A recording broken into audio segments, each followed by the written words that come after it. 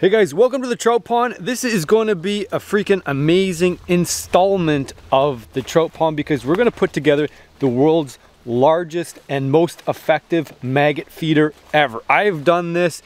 This is going to be the third year and this is going to be the best year.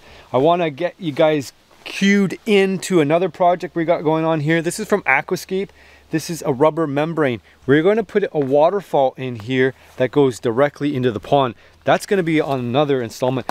But I need some help. I got to be honest, I need some help. I've been trying to produce another type of feeder and I got it inside the root cellar here. Oh, if I can get this thing open. I've been working on this for about, well, for all summer now, and I can't quite get it right. Five gallon pails full of earthworm. So I had to put them in here to continue this experiment. A maggot feeder is relatively easy to set up. You've got nature working with you instead of trying to work against nature. There's been a lot of science, a lot of natural science, a lot of engineering gone into and the thought process of making this work. The maggot feeder I'm going to show you in a second, but I want you guys to help me. I know there's probably somebody out there who's smarter than I am, who can maybe figure this out. But I've been running experiment for two months now, and it's just not turning out how I had hoped. Before all this began, I picked my own worms. I've been picking my own worms since I was a kid. It's a good skill to learn. Basically, you go out after a rain. The, the bigger the rain, the better. Earthworms are an invasive species and they've been brought here by early Europeans uh, to help with gardens and then they just basically took over. Earthworms are very beneficial invasive species unlike many species. All you have to do, go out with a flashlight after a strong heavy rain and you'll find the earthworms will come up to the surface. What they're doing is they're looking for partners. They're hermaphroditic. They're looking for any old worm to connect and exchange eggs and sperm. You're not going to get them while they're mating. Sometimes you will. Later in the evening, if you're out long enough, you'll find two worms connected and then what you got to do is sneak up and grab them. So I was able to harvest uh, dozens and dozens and dozens, perhaps even a thousand or over a thousand worms. What I don't want to do with the earthworms is just grab a handful and throw them in because that's equivalent to what I'm doing with the fish feed. So you can see I've got a five gallon pail, but that's not where I began. I started off with a smaller model and I took one container, I drilled holes in the bottom, and then I put them in a slightly larger container. So what I was hoping what would happen was that the worms would migrate down over time over a course of a number of days and they would slowly come out of the container. So that's one of the problems is they don't want to come out of a container in the light. And actually if you put the worms in a substrate and then fill them over a period of time, you can see that the worms will actually disperse and they'll go down. So that works to our advantage because if worms will go down in the environment, then they, we can actually get them to maybe come out the bottom. So during the experiment, that's what I noticed, is the worms would come out over time uh, through the bottom. However, another problem with earthworms is they're very temperature sensitive. They actually like cool summer days. They don't like really hot, scorching weather because they'll dry out. They need enough moisture to be able to survive. So they need enough substrate to maintain that and they need to be in an environment where they're not going to dry out completely. So you're trying to convince a worm to basically go from maybe a comfortable, a semi-comfortable environment into an uncomfortable situation. Basically you want them to drop out the bottom into the pond. So I had a hard time convincing the worms to do that because I found over a couple of days the worms would come out the substrate in the bottom and then so I wanted to be able to scale that up. And then I also did experiments in the light to see if they come out in the light. So the, what I found is that the worms wouldn't move a lot if the environment was not very comfortable for them. So they would move more in the refrigerator than they would out of the refrigerator because the refrigerator is a cool environment and it's kept moist. Now if they drop into the pond, let's say there's a false bottom and they drop out into the pond at night, that's fine too. They'll live uh, one or two weeks in the water before it's a problem. So the trick is as always, for the worms to come out over a period of time, not desiccate, not dry out, uh, and then also not come out all at the same time. So I thought maybe a larger container would do the trick. I had this first in a like a natural environment, not refrigerated, not in the root cellar, to see what would happen. And then I had maybe over the next four weeks, I had one or two worms end up in the bottom. So I, all I've done with this five gallon pail is drilled holes in the bottom. I mixed peat moss and regular soil So my experiment is incomplete and that's where you guys really need to come in here. You guys need to help me figure out how I can get the worms to come out of this pail, thousands of worms, survive in the pail, but come out of the pail into, into and, and drop down into the environment or come out the sides or whatever over a set period of time, say a couple of weeks. So I'm gonna run this experiment with your guidance uh, and hopefully all the worms are gonna come out. We'll do it maybe later in the fall when the temperatures are more conducive to having earthworms. In the middle of the summer, having uh, you know plus 25 degrees Celsius, that's kind of their their uh, tolerance point between say 15 degrees Celsius and 25 degrees Celsius is their ideal. And so nothing's come through again. And I want to show you something interesting too. So we're going to take this pail here, which contains probably dozens or even hundreds of worms. And we're going to dump it in this other pail. And I want to show you what's happening. Because, you know, as time has gone on, the worms have obviously moved down, right? Worms, when they're not in a comfortable environment, they'll go down. So let's pour it over and I'll show you, you know, what's going on here. Now if you can see that there, but so that's kind of where the worms start. We've got a couple of worms here. Nice healthy worms near the middle here. And I've never quite gone all the way down to the bottom. It gets so darn packed. And I'm not adding any weight there to it. It's just the way it is. There we go. That's what we like to see. So you see all those worms in there. And of course they're panicking and going lower. There we go. So they're, they're definitely migrating down to the bottom. So the question is if we wait long enough, are they gonna get down to the bottom and out the holes? But it's pretty packed down there. And uh, so you can see, here's a worm there.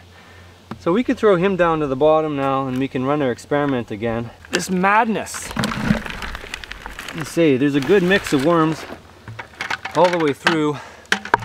Um, but like I say, they're just not coming out in the bottom. That's the scientific problem we're facing with the earthworms. I want you guys to leave a comment down below if you have a solution. I'm gonna throw this back in the root cellar and we're gonna move on to our maggot experiment, which incidentally is probably the way to go if you wanna feed fish. But I would really like to have a solution for my earthworm problem. So please help me out. Somebody out there has an idea that I haven't thought of. All right, so we got to pick a couple of trees here to make this thing work. Boro Don from uh, Modern Self-Reliance, Kevin's uh, channel, you guys know his channel. So we got to find two trees. We're gonna go yes. cherry yeah. to the birch. Might be an interesting choice, but we do want it over the pond. I got a whole mess of meat. I'm guessing there's probably two, maybe 300 pounds of meat. Uh, I did something pretty interesting. I went down my street, knocked on all the doors. I said, hey, you want to clean your uh, freezers, fridges, whatever else out you don't need anymore. I'm going to convert it into a maggot feeder. They said, what's a maggot feeder? I said, turn into the channel and find out. This is going to be bigger and more impressive than ever. I have done this. This is the third annual erection of the maggot feeder. Here it is right here. I'll pull it out of storage, deep storage. We got it under the cube here and I want to explain how you guys can make one if you've got a backyard pond or maybe you're interested in doing some really good backcountry fishing too. I've thrown this out in the woods in a rural pond and filled it up and then came back and fished it and actually caught fish underneath it because what it does is it drops maggots in the water simply and tracks all the fish. So then if you come back and try to fish it out. Hit that like button. Because we're going in. Oh, that's the perfect height. As long as the water level doesn't increase. Yeesh. Menards. Oh, that stinks. Oh, smells like dirty raccoon. Don's unwinding some, uh, what's this kind of, it's like 500 pound, uh, just regular run-of-the-mill cord. I think I got that from uh, Princess Auto. Poly rope. Poly, poly rope, yeah. And then we've got some ratchet straps. I think that sign's pretty appropriate. No exit is right. Actually, there's technically a lot of exits and none of them are good exits. Okay, so we've got the uh, rough construction here. So you will want a lid if you're gonna do it. Uh, main reason is you don't want to wash out all the maggots. It's going to rain and be moist in the summer. This just happens to be an old road sign. It's just a, it's just cage. That'd be one inch wide uh, meshing. Could you yeah. could use anything, chicken wire. Uh, this is obviously heavier duty gauge because we're going to fill this up. We're going to put well, we'll guess, maybe 200 pounds of meat, something like that. It's a wheelbarrow full. So I'm actually setting this up when Kevin's not planning on coming here for another week. And hopefully by then we'll see if the if the flies can consume all, all that meat in that uh, frame of time. Uh, and I'll keep you guys updated. But it's gonna be it's gonna be a lot of protein being converted into fish food because we are gonna get maybe more sag than we were expecting. Yeah, it's, this rope is pretty stretchy. Oh, jeez. so, so it might, uh, but that's probably a good thing. So we got to figure out where to cut that too, right? We're gonna get some sag once we get this thing set up, and uh, we actually might want to start on the other side. I just picked these up at uh, Princess Princess Auto. They were on sale. The brake strength is 1,500 pounds, so we should be good. We're not going to put 1,500 pounds of meat in our maggot feeder. So head over to the other side of the pond. If you're hanging up high here, so we can put it on over there and then we'll just have to, we'll have to drag it back. But we have another rope for that. Yeah. yeah. So we're good? Yep. Are you good with knots, Don? No. Neither am I. I was hoping you knew a knot besides an overhand. I didn't leave much of a tail there. It's like no rope is being wasted on this job. So we're working smarter, not harder. We could uh, throw the kayak in the water and paddle across, but this is way easier. We can we can always make it shorter too, right? If that doesn't work, okay. So we're getting ahead of ourselves a little bit because we got to add the maggot feeder now. Yeah. If we don't add the maggot feeder now, we will never be able to add the maggot feeder, or we'll have to untie it anyway. This is where it gets tricky and when you want some help. You need an extra guy.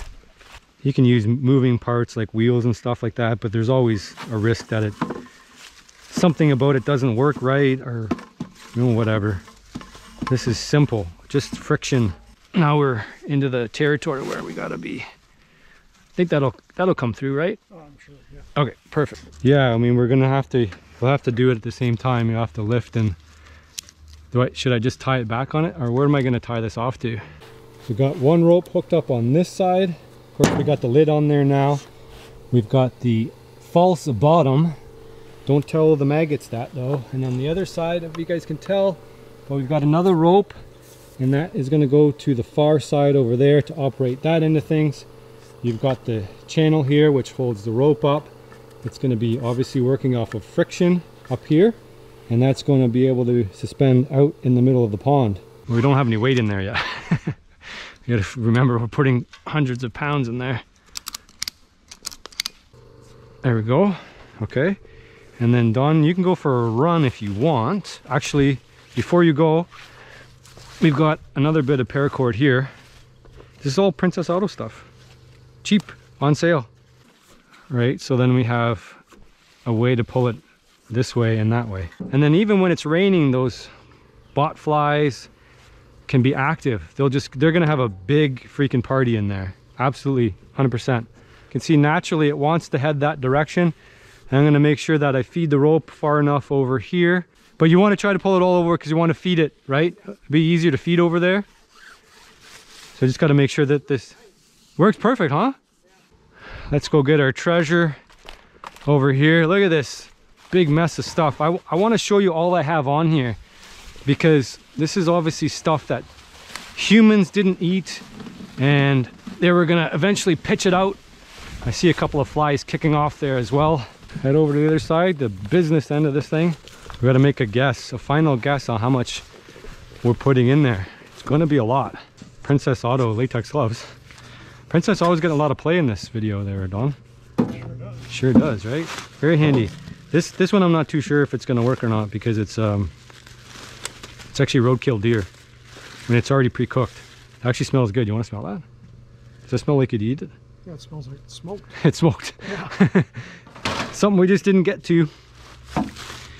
Um, so yeah, that's going to be converted into fish food. Complete the cycle. Oh, it's sagging already. Gross uh, salmon from, you know, the spawn oh, that yeah.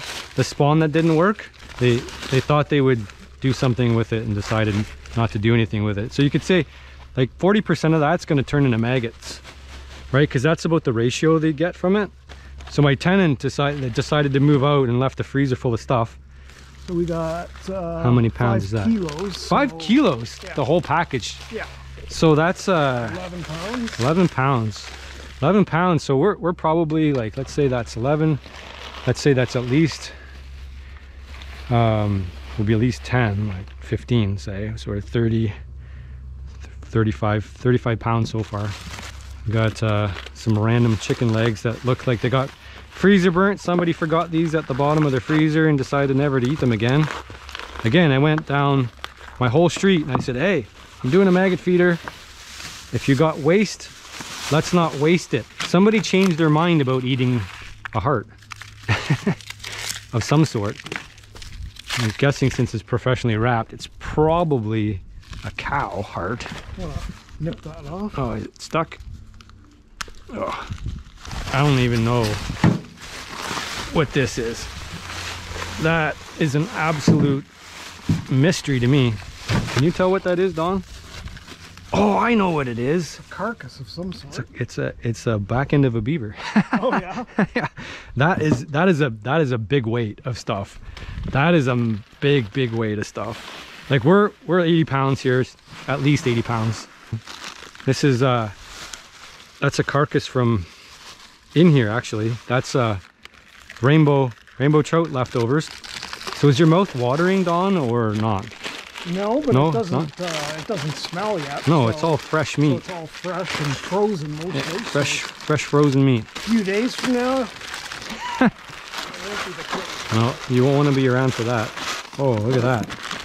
So I saved this because in anticipation of doing this. And this is some, I don't even know what that is. Looks like some wild game that somebody shared with somebody else and didn't want it. What that is, freezer burn something or other.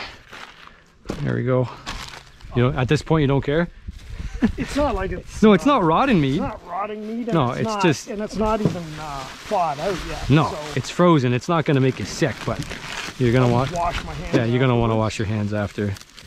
Oh man, this is gonna be the most epic ever. Do you know what that's from, Don? That should look familiar. Yeah, these are from the pond. They're from the pond. Yeah, those are the ones that that died. They went. They they died out.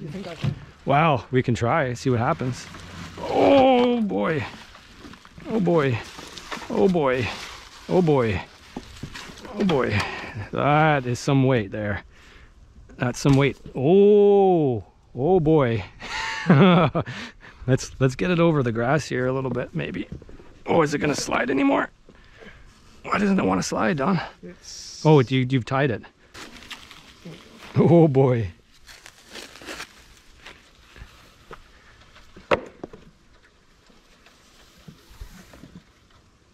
Yeah, we're gonna have to tighten that up a bit. Yeah. Do you think we're at five? We can't be at 500 pounds yet, are we? No, I wouldn't think so. There, but there is probably. Well, I don't think there's. there's maybe 200. 200 pounds. Hooey! All right, so we got taking five feet out of this rope if we can. got a knot further up, which I don't know if I could get even on my own here.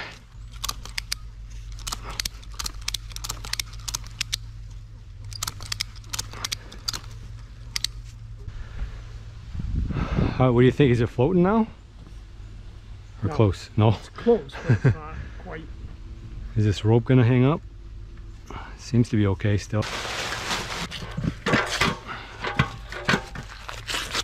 Alright. Dude, that's a beaver, eh? That's the beaver. Yeah. So the alternative is to try to figure out a way to hang it up over top of it, right? So we turned the camera off for a second and uh, down she went. The whole thing flipped out on us. I lost everything. So this is all we got left is this giant beaver. Well, we'll see if we can pull it all the way across and I don't know. I don't think we're gonna get the last little bit in there. We need a non-stretchy cable. Oh, look at the flies. They're starting already. That's a good sign. Okay. There we go. Good. And try something else with it. We got, uh, I think we got enough tension on there. And look at the activity down there, Don. See them all? So it's warmer down there, right? Imagine it'll probably settle down on its own, but for now, this is one big gob of stuff. These are all the winter kill fish from the pond. Look at that, lovely. So the beaver, you said go for it? Are we gonna Go for it. go for it? Are you trusting that we can uh, hold it? Let's try it. You just want to try it? Well, do you want to put it back in your freezer? No, it's not going back in the freezer. No, I saved it for this. This is the project I saved it for. 250 pounds of meat. That's 250 pounds of meat. What's the working capacity of the rope? 550? 100 pounds. 100 pounds? That's what it's, It's a, the rope only holds 100 pounds? Which rope? this one here. I thought it was 1500. No, that was the uh, that was the ratchet strap. Th this rope only holds 100 pounds? No, 100 feet. It's 100 feet. 100 pounds, 45 kilos, safe working. We're in we're in rough shape, Don. This is uh Let's see if their estimates are correct. this is gonna end up in the pond. If this ends up in the pond, we're in big trouble. She's full to the brim there, Donsky. Is it gonna stay out of the water? That's the question. Want me to go start pulling? Well, you might as well go. I don't I don't think there's any turning back now. She's in the water now, but that's okay. Keep her going. She's right in the water. These things are stretching too much. Just pulling that right down. Well, it's in the water now, so the only other thing we could do is bring it back this way. Keep going, Don. It's still in the water. Yeah, it's swimming. Oh, it was the beaver that did it, man.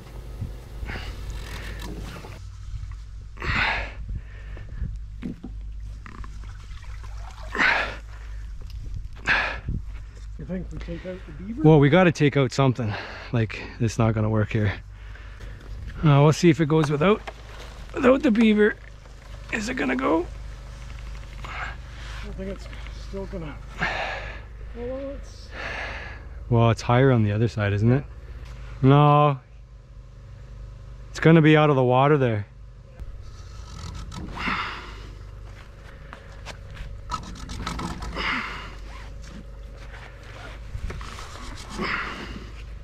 Alright, so Don's got uh, another ratchet strap we're gonna hook up on this side to take some of the slack out here without hopefully look at that look at that tension on that thing that's tighter than the banjo string all right, we spare you guys all the hard work. We got a big thick cable. This is a climbing rope cable. It's not gonna stretch. Don's up on the ladder here now. I'm gonna lift and you're gonna, or do I have to lift? I have to lift a um. little bit, maybe, to get the slack out. We've got about five feet to work with on the other side. I'm, I'm going to get this dang beaver in the pot. It's gonna go. We're determined to do it at all costs. We got the the weight is being carried right now by the wheelbarrow. And we'll know we're doing a good job once it lifts up. But if that's all you can go there, down that's okay. yeah, I'm too close to the tree. Okay, we'll head back to the other side and finish off the rest of it. It's uh, actually window washers rope. so should be uh, good for 10,000 pounds. Probably whatever we can put into this thing. I don't think we got it lifted off the wheelbarrow yet, but Oh, oh, oh. I spoke too soon. We got, we got lift off maybe. I don't know if I can crank it too much more, but. I think we're good there. We got some good height. This is the best maggot feeder ever. Look how high it is off the ground now. And it's got most of the weight, we think. Well, Okay. Moment of truth. moment of truth. Give her, give her a tug there, Donnie. Oh, do you want to? There. Just pull it Yeah, just pull it off. See what happens. Uh-oh. Uh-oh. Uh-oh. Leaves the wheel there. Oh. oh no, she's still in the drink. Wow. Back to the drawing board. well, we switched trees if you haven't been able to tell because, well, nothing's working. And so if nothing's working, that means you gotta reimagine everything. So we're about 15 feet or more up the tree on both sides now. We just need it off the water and that's gonna be a victory. Okay, let go. It's good? That's the weight. Good. I'm gonna drag it. Are you gonna tighten that one up? more? Yeah, let's do the other side first. Don? Oh, look at it. Where every pump is taking it off the, off the ground from an inch. It's pretty basic engineering, but for us it's a lot, eh, eh, Don? it seems to have been a like a little bit of a challenge. Catastrophic failure is always a distinct possibility when you're suspending 250 pounds of raw meat over a pond. Okay, everybody ready? Oh, she's tight on this side. Oh, oh my gosh, I don't know if we can go any further than that. That's not a it's not bad for what we're what we managed to do. Let's get it a little bit closer. We should we should be on the up and up now, maybe. Okay, I think that's all we're gonna do there. Um, but ideally we might want over in the deeper spot, right? Yeah, it'll be, no, it'll be deeper over here in this corner. Shallow here. The fish will still get it there. I think that's good. We'll leave it there. That's done. Oh, that was a three hour job. It was not supposed to be a three hour job. You did it though. You did it. It looks good. Persistence pays. 250 pounds of meat, raw meat in there. So that'll make about, uh, you know, 80 pounds of fish food. Winch it. 3,500 pound winch. You can't move it. no way. so we've doubled up on the uh, ratchet straps. We got like a big beefy version up there now. And then we got the proper climbing rope. And uh, Kevin's got the tractor here, so he's got an idea with that.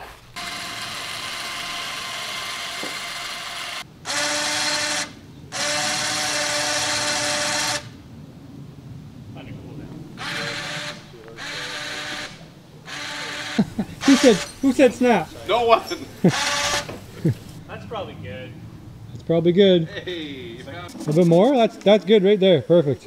Yeah, perfect. Uh, it was supposed to be like a half an hour job. Yeah. it was like a half a day job. Yeah. Um, turns out suspending 250 pounds of meat, it's not that easy. no, over a pond. Last time we didn't do as big and the run wasn't as long. Uh, I would recommend probably some cable, some chain around the tree, uh, some And heavy some duty ratchet heavy-duty straps. Ratchet straps. Yeah, and then obviously the winch was the last thing that got it to pull tight. So anyway, we're uh, I'm gonna come back in a couple days once it starts working, and uh, you can hear the party forming behind us. We're gonna go bite to eat before we take off. So thanks for your help, Don. Not a problem. I'll let you know how it turns out. Yeah. All right, guys. Well, welcome back to the world's largest and most effective maggot feeder. We got 250 pounds of meat rotting over top of our pond. I have noticed that there is not a pungent smell yet, but I am just on my initial approach here. We're going to check on the progress of our maggot feeder. And as you can see, we have a lot of fly action going on. Take a big sniff, and I can't smell anything, but you can be darn sure that those flies smell something. So we're gonna drag it over here and find out what stage of uh, the maggoting business that we're in yet. We're hoping we're gonna have lots of egg activity. We should be able to find the eggs on top of the meat if we look carefully enough. And now is a good time because, well, it doesn't smell repulsive yet. It is gonna be getting pretty darn close here now. We did put the meat in frozen, so that's probably taken a half a day to a day. We're on day three right now. So this is when we really should be starting to see the, oh, yep, never mind. I got a whiff and it ain't good. oh, oh, not good. Ugh.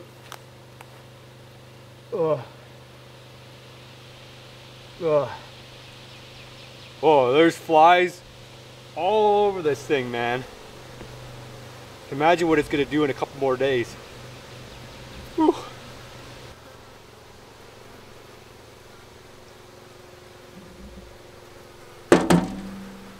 Kind of interesting is that they, it looks like they really targeted the orifices. Like they put it on the snout of the beaver, they put it on the gill plates of the fish in in the mouth, and then they found little crevices.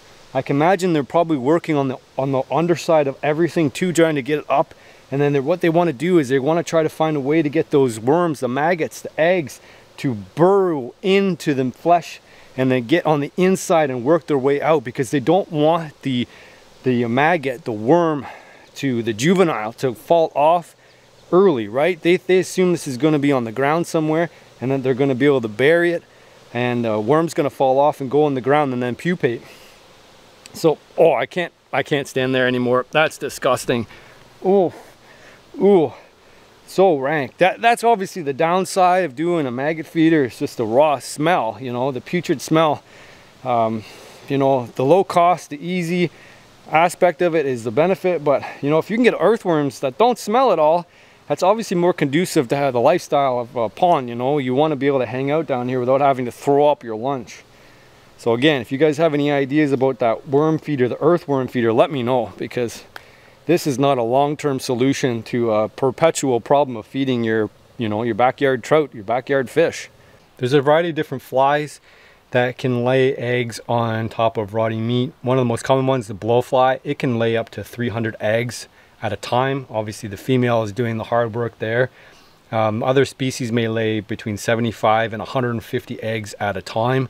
Uh, a piece of meat can carry a ton of maggots. For example, it was found that on rotting meat of only 156 grams, there was 48,000 maggots on it. Obviously not those maggots didn't survive all the way through to adulthood because they just didn't simply have enough food to eat. But you know, if a fly can find a piece of meat to lay an egg on, they will. That's for darn sure.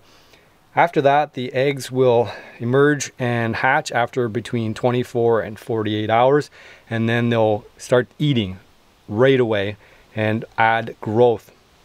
And that will last between three and five days before it turns into a full-blown adult.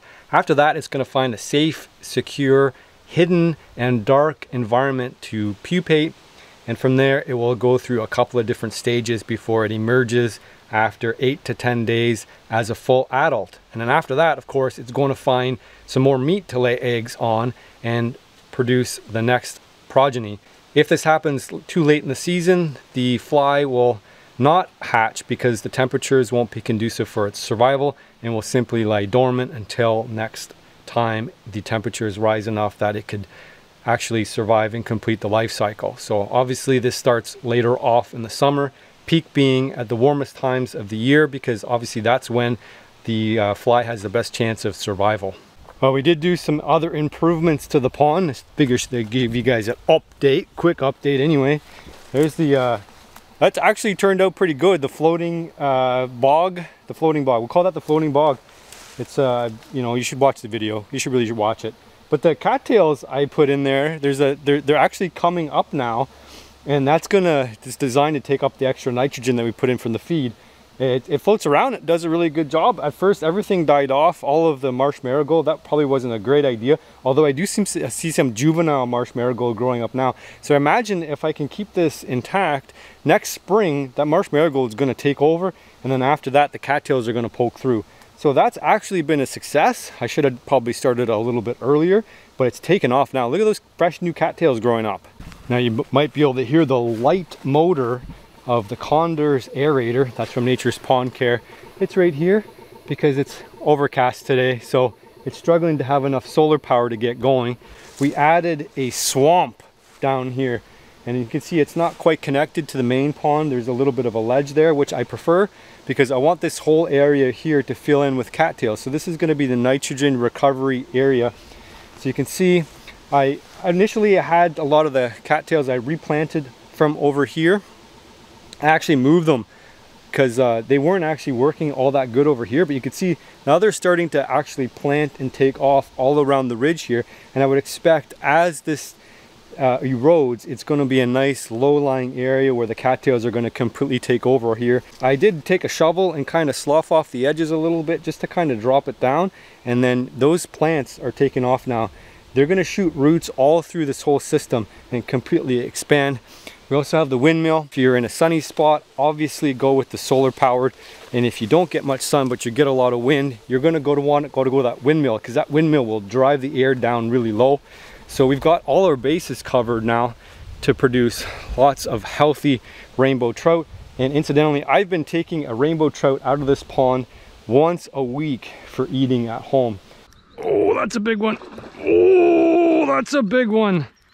That is a freaking giant. Holy. Oh. Holy. Jumpers. I don't know if that's Clark. That might be Clark. I don't know. Oh, I gotta keep him out of the. Holy! Gotta keep him away from the ducks. Oh no, he's gonna. Jeepers. Stay here. Holy. Jumping. Holy. Holy smokes. Stay here. Oh. Oh. Holy smokes. Oh. Oh. Oh. I got him. that's not Clark, but that's a big one. Oh, holy jumping. Whew. Look at this fish. Holy smokes. Holy smokes. that is not the big fish. That is the fish that maybe was not swimming too well. Holy, I was gonna grab two today, but that is plenty of fish for me for this week. You guys definitely gotta get yourself some fish. Make yourself a pond. Lyndon Trout Hatchery has all of the trout you'll ever need. We're gonna check back in in a couple more days to see how this maggot feeder progresses. I definitely wanna be here once it starts dropping maggots in the pond. I also wanna run an experiment where I fly fish with a maggot imitator to see if that will trigger a bite for my one week's ration of rainbow trout. Oh, hey guys, it's been uh, two more days. I got Holden here. He's gonna do a reaction of what he thinks about I do for a living here. He's like, he's like, oh, you do this, so just a box with some meat in it, right? I'm like, yeah, pretty much. And he's like, well, it looks kind of ridiculous because it's all hung up in the trees and whatnot. You get a whiff of it yet? smells so bad. like, have you ever had like uh, compost and then and then flies get in it and it smells like maggots? That's what it smells like, except way worse. Well, it doesn't smell like maggots. It smells like rotten meat. It smells like rotten yeah. compost. He does the compost at home, so you should be used to this. Not you do that. He does the dishes. He does the garbage, and he does the compost. So if he does the compost or garbage incorrectly, you're in the maggot business, just like me. Oh, that's not good. You, you taste it? I taste it. Are you sure the bottle's not gonna break? I hope the bottom doesn't break. It, it shouldn't. Like it's... it's sagging. Yeah. I'm not surprised. There's a heck of a lot of meat in there.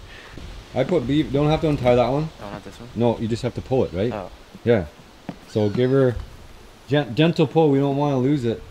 Don't forget to use your legs, eh? Yeah. yeah. Like yeah. get bend in there. Get a good bend in there. It's like yeah. There you go. Use your weight. Pour in there. Oh, she's coming. Oh, look at that. A little bit of juices came out the bottom there. You see that? Yeah, you don't want to you don't want to stand underneath it in case it all fall fails, but it should be okay. It smells bad now. It's it smells bad or it's getting closer. Can you Yeah. taste it yet? you, you're, you're happy you already ate lunch, but you might chuck it up, right? you get one more half pull in there, should be good. Is that it? It's all you got? Okay, that should be good. What, you get a you get some uh, offenders there? Yeah, there there's probably three times as many flies on there as last time. Definitely. Like if a fly lands on you, it's like putting rotten meat on your flesh. So don't let anything land on you there. I already did. A fly landed on you? Like it, I hit Oh, it. dude. oh, oh my god. That's so bad. The the first okay, so the Hey, first take off the liquid. Take off the- no, no, we no, we gotta you gotta soak it in, man. Where the where the gloves? Wear the gloves. Well, if I touch anything, you know I'm touching. It's tou- basically touching raw meat, like yeah, well, raw get meat. the gloves so then you're not touching. So I want to explain to you the, the first time I did this, I had to check to see how it would work. So I did it at home. So I basically put like I put meat in a garbage pail because I knew the maggots couldn't crawl out of it. So I basically had to handle it every day, and then it was in the neighborhood, and I knew everybody was smelling it. So Anyway, when I handled it, I had to dump everything out and I had to sort out the maggots because I had to chuck them, just the maggots, not the meat and everything, into the pond to see how the fish would react. Okay. eat them? Yeah, the fish will eat them. Yeah, that's the whole Yeah. point, right? Well, obviously. Obviously. I just So asked yeah, Whatever. so yeah, you know, Yeah. you're putting things together now. So the point is, every time I handled it, all that stench of rotting meat would come up, and it would be like it would permeate my clothes, and it and it permeated my beard. That's so pungent, it permeated my beard. So I would wash my hands, and I would be like, "Where's that smell coming from?" I would take take my like change all my clothes, obviously change my pants, and then I would be sitting there like editing or something, putting the footage together. like, what's that smell? So oh oh. so the point is, I couldn't get rid of the smell because it was freaking in my beard. So I'm sitting there and I'm just getting whiffs from my beard of like rotting meat flesh. Is this you trying to get me to do it? Like, you- it won't get caught in your beard yet. Just your little little mustache forming there. It's probably Very gonna bad. very bad. Yeah. That's already bad. It's already bad. so there's a reason people don't do these kinds of things, right? Holden's realizing why. you got some some surgical gloves. You can just wash your hands or lick them, right? Yeah. Yeah, Just lick them. just lick them. it's like eating like there's Oh. there yeah, see? There's a reason it's so pungent. It's like it would you would probably die if you ate it, right? So your body's like, "No, don't like that smell." Like it's repulsive. It's the worst smell in the world. I swear. Like and it, it gets in your it gets in it'll get in your skin and you'll still smell it. Like oh my god. Oh. No, no, I'm coming over there. Oh. So I can yeah. All right. Off she goes. Let's have a Oh my gosh. oh. There is like just a feast going on in there. It's so it's so amazing that they like really they really focus oh. on Did you get a whiff? Oh yeah. Yeah. There we go. You get they really focus on like the holes. Some more holes in there. It seems like they're they're keying in on the orifice uh, orifices of the beaver. So if I punch a bunch of holes in there, they might lay more in the holes and then car- and then carve the animal out from the inside. I think that's the idea. Oh my gosh. Oh. Oh, they're attacking me. oh. Okay, I had enough. I'm Oh. uh, that's bad. They're, the, the maggots might be all inside right now. It- like couple more couple more days at least. I was gassed out. It's just like it hits you like a sack. Anyway, yeah, I think we gotta wait. We gotta be patient. It's gonna be there. There might be some worms active on the inside. That's what I'm guessing is they want to hatch. Like they're they're focusing in on the orifices so that they, they hatch and then they go inside the cavity. So it might just be like a mess of worms active on the inside right now. Is my guess. Uh, I guess they have it ha- they have hatched by now.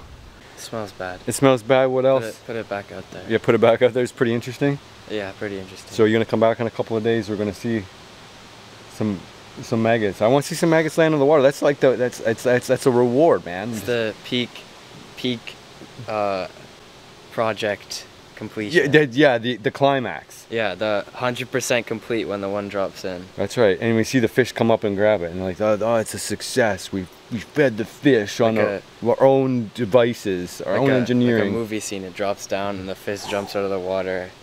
Well, guys, I couldn't resist. It's next day, and there is so much more activity happening right now. This is so fascinating to me. Leftovers, the decomposing flesh, it's gonna turn that into, it's just, just basically gonna turn it back into new life. It's so crazy cool.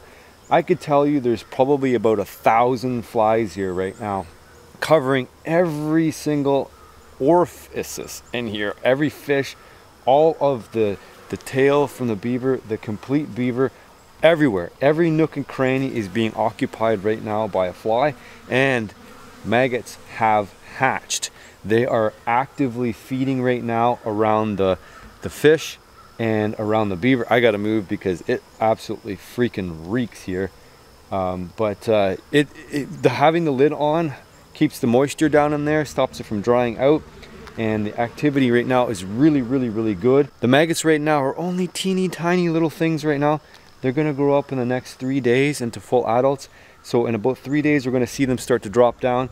The uh, fish are getting hungry. I have not fed them in anticipation of the massive amounts of feed that they're going to get from these maggots. Once they start dropping in the water, we're going to see all those fish surfacing and grabbing stuff.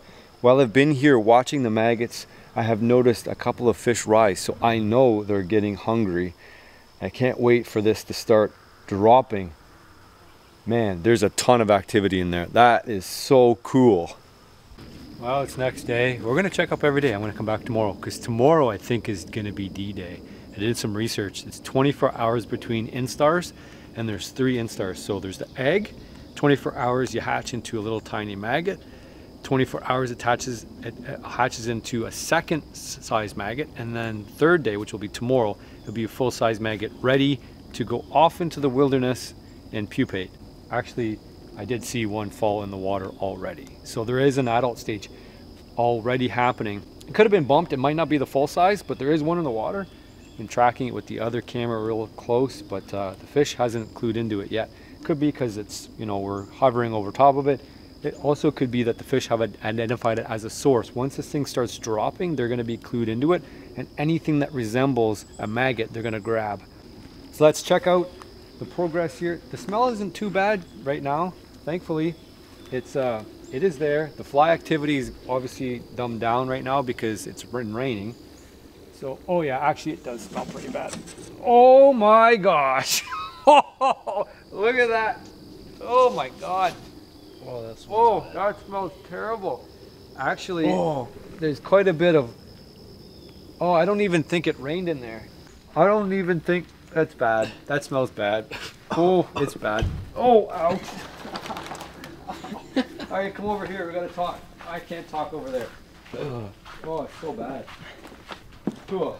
I, I so I did some research. I wanted to learn more about maggots. So, um, there, there's a putrid mass on top of there, which I don't think it could be partially because it got wet, but uh, maggots they work in a ball, and they feed inside this like a mass.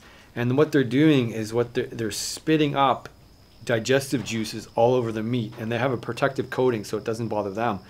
And they're moving around in this ball, and on the inside of it can be up to like 50 degrees Celsius. And then so they get so hot they can migrate out. And what they're doing is just sending that the protection and juices all over and digesting the meat so that uh, you know they have things to, to do to eat right they can't just eat well they have teeth but they need to soften it right the, the meat will dry up so anyway that's pretty cool and then they don't actually break up off, off that ball until they're ready to go off and find security to pupate I think they're on their second stage now. So like I said, tomorrow is going to be D-Day. Tomorrow is going to be when they're dropping off like flies. And uh, that's probably why it came from. I don't know. Who knows? All right, come in closer, Holden. Don't slip and fall. You're going to get a face full of maggots if you do. So there's a couple other bugs here. So I'm guessing what these guys are are uh, meat munchers. I don't know what they're called. It's a special kind of bug that will be attracted to desiccate decaying animals. Um, so it's obviously attracted by the smell. So they've uh, they've uh, moved up on top here. I don't know why they're on top, but I'm guessing it's because maybe because it rained, they climbed up here, was a little bit safer. So what we're gonna do here, we're gonna grab a couple, we're gonna throw them in the water because we actually don't want these guys to eat all the meat, and we're gonna see if uh, if they don't end up as food for the uh, fish.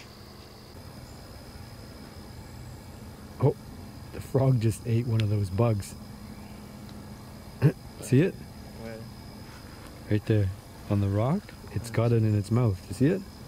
Yeah. It just ate one of those bugs I threw in the water. I wonder if these guys can fly. Oh yeah, they're fluttering around there. So if we hear any splashing in the meantime, we'll know what from. And we're gonna grab some second instar larvae and we're gonna chuck them in the water and we're gonna see what happens. I'm afraid, you know, I don't know why because I know that smell is gonna go right through these gloves. Like it's it's it's amazing how potent that smell is and how much that smell your body doesn't like. So it can really detect that smell. Oh, gross. Okay, I flicked out maybe, I don't know, six or seven, ten maybe. but again, I don't know if they're gonna be clued into this yet. So I'll grab another handful here. Oh, oh, just like little rice pellets. Oh, oh my gosh. Okay, I gotta get this glove off before it soaks in. We're gonna have an eye in there. Holden, Holden got the camera in there. Whew. All right, no, no activity there. I'm gonna try one more handful and then I'm just gonna assume that the fish aren't clued into it yet. There was, has been no rises, which is unusual. But that's the way it is. I saw the little frog, it ate my bug. One more handful of maggots and then we're just gonna have to be patient. Just gonna let, let nature take its course here. Oh my god. Oh. Oh my gosh, that's so disgusting. When you grab it, it's like a handful of nothing. Because they, they literally have no weight. Oh. Oh. You don't think the fish are gonna grab anything? No. They're definitely not clued into that color. They stand out pretty good. If one would grab it, we would definitely hear or see it. But this would be the first day that they'll be hitting the water, so they're they might not be watching for them yet.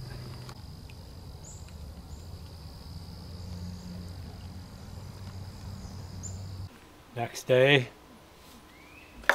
more activity. I got a scooper, I got smart. I scoop some maggots out, chuck them in there. Looks like there's a lot of maggots on the surface, but uh, not seeing anything rise. And there's some maggots dropping down all the time it looks like.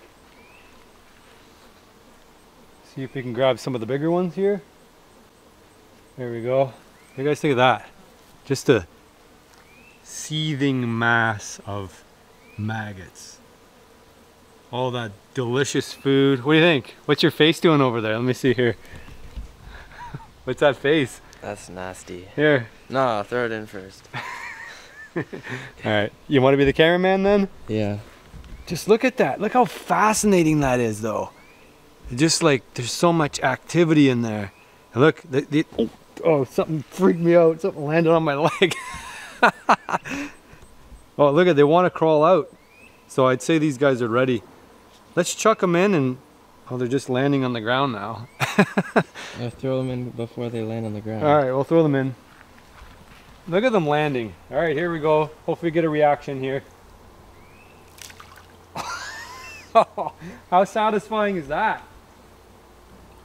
There, we got a good coverage here. Well, the water temperature is pretty warm. I'm guessing that there's going to be a lot of underwater activity here. So we may not get the satisfaction of seeing those fish feed on the maggots. Like there's definitely a lot on the surface, but as soon as they sink, those fish are going to definitely swoop in and pick them off. We got the camera mounted up top there. I'm going to let that run for a couple hours, see if we get some surface action. Because that's obviously the most satisfying part but I can tell you last time I fed my trout maggots in the other pond, uh, the clarity was a lot better. I could see the maggots falling down and the trout coming in and hammering them like there's no tomorrow. They were absolutely loving the maggots all the way through the entire water column. Oh, I gotta move because this stinks really bad. Whoa. You see the fish? Did you see it? Yeah. No, you see it over there. Yeah. It keeps rising over there. That's where the deeper water is. So I'm gonna grab a scoop of maggots. We're gonna go over there. But the, the maggots, they're, they're landing here. They're, oh, there's another fish rise there. Do you see that, that ring there? Oh, again. Okay, over here. We got some action. So the work, the maggots are landing and then they're dispersing over the whole. There we go. Yes. All right, let's get get a little bit closer here without trying to spook them. Oh, again. There we go. Oh, look at them all underwater there. Grabbing stuff. I just saw a flash. Are you zoomed in there, Holden? Oh, look! Yes! I was losing hope. I'm gonna give you guys a taste of what it looks like in ultra clear water uh, because I got some old footage from the other pond just to see like if you want to do this for like panfish or bass, obviously trout works too. Uh, I imagine catfish would grab these off of the bottom, but any kind of fish that you can think of will go after, you know, they're, they're basically trout mouth sized, but any fish will grab them. We got activity all over the pond. Okay, I'm gonna grab another scoop still. Uh, I thought they were active just on the other side. So they're active here, but there's, there's a trail in it. It's going this way, and the aerator is kind of moving everything over here. And some of the maggots are sinking, so the fish are definitely they're trained more to be feeding down below. I would like to see them hovering just below the feeder though, coming up and grabbing stuff as it hits the water. But just like the whole top of the whole pond is just covered in maggots right now. It's it's an insane amount of food. And so because the water temperatures are so warm, the, the fish are basically feeding down low. So they're gonna wait for those maggots to drop down below the surface. So we're not gonna necessarily see a lot of activity. Every time I move it, it just drops maggots in the pond. Just kind of shake them out. Oh, there's another bite over there. Another fish rose. That seems to be the more popular spot. So we'll grab a we'll grab a scoop and we'll head over there. I think this the currents are bringing food over that direction a little bit more. Well, July and August are always really tricky times for cold water species like trout. And I really wanted to get some activity of the trout feeding on the maggots kind of in real time. But the temperatures actually went up to critical. They're around 22 degrees Celsius. You'll have to convert that, but that's kind of out of the trout comfort zone. So I did capture some trout coming up on the surface, like not doing too well. I actually took off for the week and uh, Kevin was monitoring the pond for me and he told me that uh, four fish died. So it might actually have been these four fish that were up near the surface just as I was leaving. Uh, since then, the temperature did drop, and I did mount a camera up above the pond to kind of observe things as uh, the maggots were dropping because I wanted to see that surface surface activity or show you guys at least what I saw, which was the fish grabbing maggots from the top. You can see them swirling just below or just at around the surface. You can tell they're just kind of lipping around the surface. So that's uh, activity from the maggots being dropped and then being dispersed all around the pond. Some of the maggots definitely do sink straight away, but the majority of them kind of float around the top and then they get moved around the pond. So this is over the course of uh, six hours. I actually had the camera just running up on a tripod up on top of the cube, so I had a good aerial view, and uh, you can see just how many trout were smacking off those maggots. So I'd say that was a pretty successful experiment. I did also intend to catch a trout and then open up the gut contents, but uh, as the week went on, uh, Kevin tired of the maggot feeder and the smells of it, so he ended up taking it down. And then on upon return, I still take my weekly fish. So I set up Holden with a fishing rod. He's my son, and uh, I'll get into those clips in a second here. He had a good time catching my trout for dinner.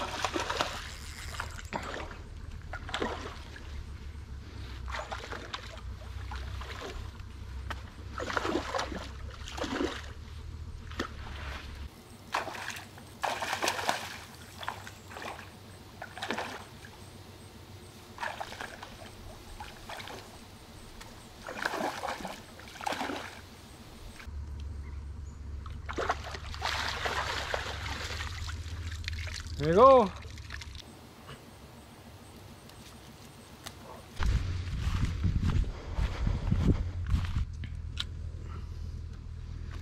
So what I did is I put my finger in there like that, Mm-hmm. pushed it backwards. Turn like that, and then hit it right in the brain. Like that. Hard, as hard as you can. Oh, there we go. We got her done. Got a nice big a rainbow trout from the pond. He uh, still he refined his technique a little bit on catching fish. What was the biggest problem you got there? Getting caught. Uh, getting what's it called? Snagged. Getting snagged on the bottom.